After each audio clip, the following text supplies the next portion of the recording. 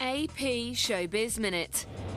Taylor Swift made history at the Country Music Awards on Wednesday, becoming the youngest person to win Entertainer of the Year and the first solo female to win it in a decade.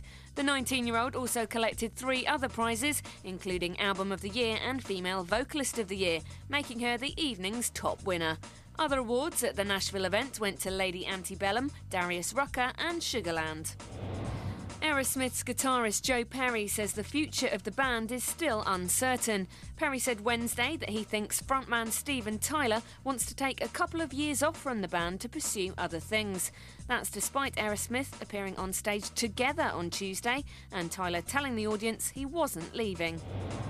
A record 20 films have been submitted for Best Animated Feature at the Oscars, and if at least 16 of them qualify, there'll be five nominees in the feature length animation category.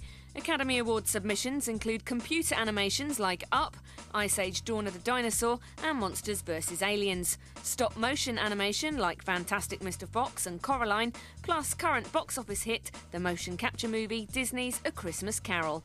This is Hilary Fox with AP Showbiz Minute.